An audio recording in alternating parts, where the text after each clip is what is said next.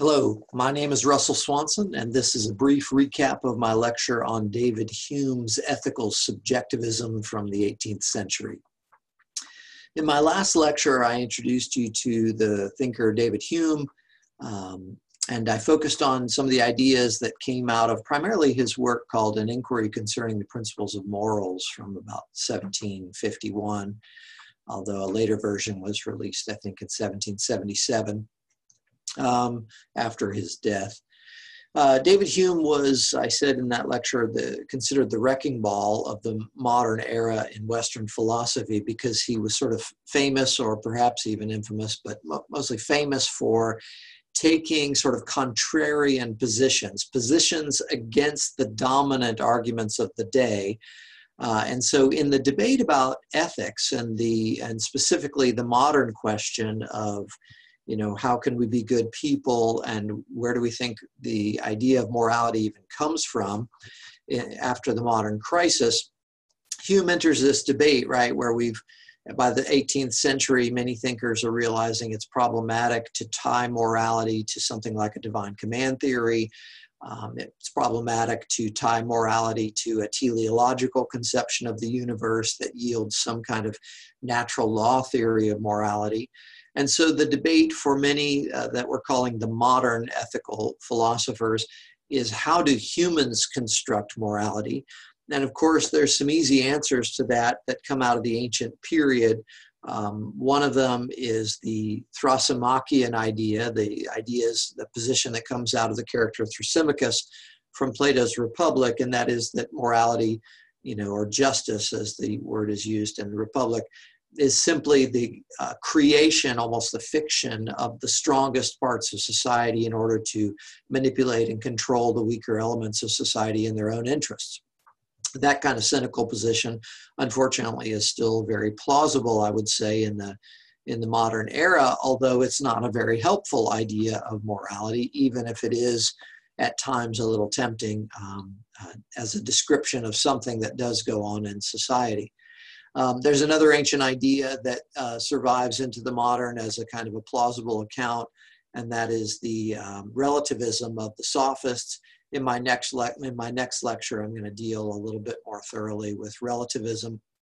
Um, I would argue, and I will argue there, that it's a very tempting idea, but it's largely tempting to those who don't understand fully its implications, uh, because it's again just not a very helpful position for for thinking about ethics, both in terms of how to have a good life and in terms of how to be a good person. Uh, so those two positions are possibilities, but the modern ethical philosophers that are famous and that really influence the debate are famous and influential to the extent that they don't go for the cynical Thrasymacheian position and they don't go for the unhelpful relativistic position. Instead, they uh, enter a debate about whether or not humans think their way to morality or feel their way to a morality, a moral, a set of moral judgments and a morality that's not merely relative to individual perspectives or cultural perspectives. And so we saw in, in my lecture on social contract theory that Thomas Hobbes found a way to argue that we reason our way to morality. And uh, uh, David Hume, the, the wrecking ball, as he's known, right, takes the contrary position and argues no, that we uh, feel, in some sense, our way to our moral judgments, and that, that it's a certain subset of human uh, feelings or sentiments, to use that 18th century word, uh, that uh, give rise to morality in the first place. Now, the reason why this was such an uncommon position, I think, is that the moment you say that moral judgments come from feelings and that morality is generated by reports of human uh, feelings, uh, this subjectivism, as it's known in ethics, sounds like it's going to lead inevitably to a form of relativism at the individual level, uh, which I call simple subjectivism. And that is, again, going to be addressed in my next lecture a little bit more thoroughly. But David Hume, again, is an influential modern thinker because he's aware of the modern crisis and he's going to try to offer an account, in this case, an account of morality based in sentiments that avoids relativism. And so, what we call Humean subjectivism, or sometimes what I call the not so simple subjectivism of David Hume, um, is going to offer us a kind of a nuanced uh, account of how moral judgments come from our sentiments. But in the lecture, I, I developed for you that the basic argument pattern that Hume offers, especially in an inquiry concerning the principles of morals, uh, is to say, look, these are the modern choices. We think our way to morality or we feel our way to morality. It, either reason is the source of morality and moral judgments, or sentiments are the source of morality and moral judgments. And I'm going to tell you why it's not reason. That's, that seems to be Hume's primary strategy here. Here's sort of the form of that argument, if you will, which we look at in, in uh, part of philosophy known as formal logic. It's either A or it's B. It's not A, therefore it's got to be B, right? And so to flesh that out in the more concrete version, less abstract version of that in Hume's philosophy is, you know, reason is the source of morality or sentiment is the source of morality. Let me tell you why it's not reason and therefore we have a reason, we have a cause to believe. Careful of the way the word reason can be used in multiple ways here. Uh, it's either reason that's the, the, the, the sort of what's behind morality and moral judgment or it's sentiment. It's not reason, so it must be sentiment and then he adds in the course of arguing something more subtle about the way in which we derive moral judgments from sentiments in order to try to differentiate his version of subjectivism from some uh, relativistic version of subjectivism. Um, and so to briefly recap the two most famous lectures that Hume offer, I'm sorry, the two most famous arguments that Hume offers um, against reason's centrality in the formation of our mental, uh, our moral judgments. Uh, the first was a kind of an indirect argument involving human motivation for actions. And the argument basically goes something like this uh, Reason alone does not cause us to act, sentiments cause us to act, moral judgments cause us to act. And so, since both sentiments and moral judgments cause us to act, they must be pretty intimately related sentiments and moral judgments. Since reason alone doesn't cause us to act, and moral judgments do, they must not be more, they must not be intimately related. And so, this is an argument for sentiments being more uh, central to the formation of our moral judgments because sentiments, like our let's say our innermost moral judgments and beliefs uh, cause us, uh, give us good reason to, to act or to cease a certain action. Whereas we argued in the lecture last time, uh, Hume develops this idea that reason alone, uh, you might think it can, but he says thinking, cognition, reasoning, sort of logic by itself never gives us um, a cause to act. It's always at heart something about being alive and sentient, something about having the capacity to feel positive and negative feelings, likey and no likey. At bottom, Hume argues that human motivation is always tied to some version of likey and no likey. And so, as we developed in the lecture, that's why, you know, if we built an incredible uh, robot with a computer brain that could reason uh, logically very well, and we turned it on, that's why it would do nothing until we tell it what to do because while it can reason it can't feel. And because it can't feel uh, in some kind of conscious or sentient way it doesn't have any version of sentiments. It doesn't have any version of likey and no likey and so it doesn't have any motivation to take action. Okay so that was the first argument. The second argument was a little bit i think i find a little bit more persuasive because it's a little bit more direct and it's often referred to as the argument um, that reason alone cannot decide moral matters. Reason alone by itself cannot decide what's right or wrong for us. And we referred to Hume's famous murder scene uh, example, which I then fleshed out um, kind of uh, in, a, in a lot more detail in order to make a number of points about the Humean perspective on morality. And, uh, you know, if I simplify that down for you, in some sense, if we explore a murder scene with all of the latest technological tools we can, what we will find are the facts. But what we won't find are the values, including the right and wrong of the situation.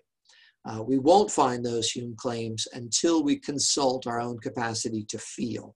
And though even and so even though it's not us that got killed, we're, we're still upset by it right?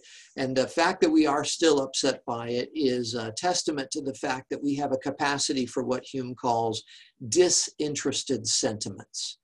Uh, a kind of an unfortunate phrase uh, from the 21st century perspective, but what Hume seems to mean by that is something akin to sympathy or maybe more empathy, right? Um, the capacity to feel the pains of others or the pleasures of others. And again, more like sympathy, the capacity to be displeased by the pain of others. Even though we don't know exactly what they're feeling, we're not feeling exactly what they're feeling, their pain upsets us in a way, right? Even the pain of perfect strangers, frankly, even the pain of other species. Uh, but the joy of other species, the joy of perfect strangers can, for many of us, elicit spontaneous joy in ourselves. And that's just sort of a little bit of a strange fact of our hard wiring. We might help Hume here by saying, you know, from an evolutionary standpoint, you know, we're social mammals. And apparently, for all of the social mammals, this capacity to pick up on the feelings of others is kind of a crucial capacity. And Hume says that capacity, which he calls disinterested sentiment. That's the root of morality and moral judgment. And of course, we have all kinds of feelings, and many of them are not disinterested. So, as I developed for you the murder scene argument, uh, kind of fleshed it out for you and expanded it beyond Hume's version of it. I talked about a couple of other scenarios where maybe somebody would be happy that so and so was dead because they had a rivalry with so and so. Okay, that's realistic psychologically that happens but it's not admirable morally and you know such a self-interested sentiment like i'm glad so and so is suffering because i don't like so and so or i'm glad so and so is gone because I, I didn't i never liked him in fact i hated him.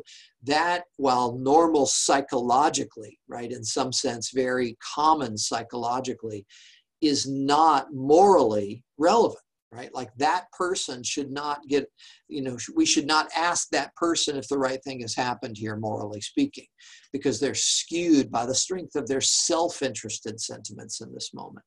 If other people, for whatever reasons of birth or perhaps for reasons of trauma, have had their capacity for empathy and sympathy somewhat beat out of them, or maybe it never functioned right to begin with, likewise, we don't want to ask that person for their moral perspective on things, right? So if that student that we talked about in the example in last lecture just looks at the murder scene and has a kind of a neutral response and says, What are we doing now? That's a little troubling uh, psychologically, and certainly Hume, uh, based on Hume's account of morality, we wouldn't want to consult that person in terms of moral judgments. And then lastly, you know, maybe maybe I, you know, I used myself as an example. I said, well, maybe I'm upset by the murder scene, but I'm upset because of how it affects my life. Again, while I have a negative feeling like most humans would have when they, excuse me, see the death of another human being, even a perfect stranger, um, my feelings are a little off in that moment because my feelings are so self-concerned, right? Like they're self-interested sentiments. Again, for Hume, disinterested sentiments would be the key to making a better or a more reasonable, more persuasive moral judgment than uh, self-interested sentiments. And so even though I also have a sentiment of disapprobation, I have a no likey, I have a negative feeling, my negative feeling is is generated by how it impacts me. And so I'm not using my capacity for disinterested sentiment, sympathy, or empathy to make my moral judgment. And so my moral judgment is bound to be off. Right. And so notice that by fleshing out this murder scene example, we've done two things. We've kind of shown how, look, reason helps us get the facts straight. And that is important. We'll come back to it but it doesn't generate the moral judgment. And so that's kind of the Humean point. Reason alone is not central in determining right from wrong. But on the other hand, um, there's a lot of ways we could go wrong, even with our feelings, with regard to making moral judgments. And so Hume has set up a way, a subjectivist account of morality, i.e., a description of how moral judgments and morality are tied to feelings, subjectivism, ethical subjectivism, but it's not going to result in relativism, right? Because some moral judgments are going to be more appropriate than others. Some are going to be more reasonable than others. Some are going to be a better or more reliable sort of way of indicating moral right and wrong than um, than than others, right? And so we have a way of differentiating amongst uh, our moral judgments. And so you know, I've I've I've reviewed now for you this idea that you know moral moral values come from disinterested sentiments as values more generally including just good and bad and beautiful and ugly um, you know all value judgments come from sentiments according to hume and he's got interesting arguments across the board there for how some you know value judgments based in sentiments are better than others.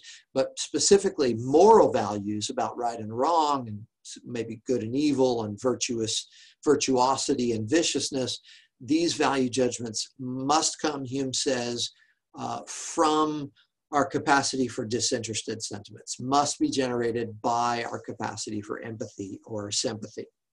And so he famously says that reason is and ought only to be the slave of the passions. And by passions, in that famous quote, he must be referring to disinterested sentiments, um, as we unpacked in, in, the, in the last lecture.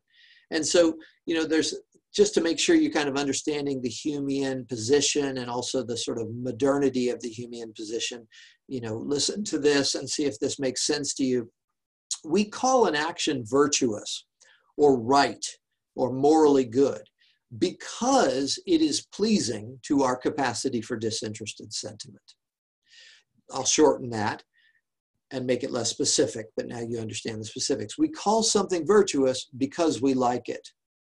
Importantly, it is not the case that, according to Hume, we like it because it is really virtuous right? That would put the moral goodness, the moral rightness, the virtuosity out there in the world as something we are recognizing and responding to. What Hume is saying in light of the modern crisis as a modern ethical thinker is the goodness is not out there. There are actions out there, there are facts out there, there are relationships between facts out there. Use your mind to understand as best you can, and then use this human capacity uh, disinterested sentiment to respond. And more often than not, if we got the facts straight using reason and we use disinterested sentiments or sympathy or empathy, we would more often than not agree about our moral judgments. And that's Hume's account uh, of ethical subjectivism or Humean subjectivism. I find it a very reasonable and plausible account. What we're going to see in a couple of lectures is that one of the greatest minds of modern philosophy, the Prussian uh, philosopher Immanuel Kant, is going to get a copy, trans, uh, a copy of Hume's work translated from English into German, and it's really going to rock his world and make him do some thinking. He thought he had things figured out until he ran into the wrecking ball. Um, uh, but Hume, but Kant is going to, uh, you know, say that that's persuasive, it's very good. In some sense, Hume must be right about his conclusions if we agree with him that morality is grounded in sentiment. And that's why Kant's going to make it part of his life work to argue morality cannot be understood, understood as being grounded in sentiment because Hume's reasoning is good and general moral agreement is not enough philosophy after 25 you know 100 years or 2300 years at that time in the late 18th century you know it's shameful it's a bit scandalous that philosophy can't explain uh, you know absolute moral truth. And so immanuel kant is going to respond to david hume. Uh, he'll be our next major thinker uh, by trying to explain absolute moral truth even in light of the modern moral crisis uh, or the modern crisis in ethics by, by putting the foundation of morality back in rationality. But we'll get there in a couple of lectures. So this completes my review of Humean subjectivism. I hope you guys are all feeling good about your lives and feeling good about what's happening to each other in the world. And if not, you know, trying to make it a little bit better. Take care.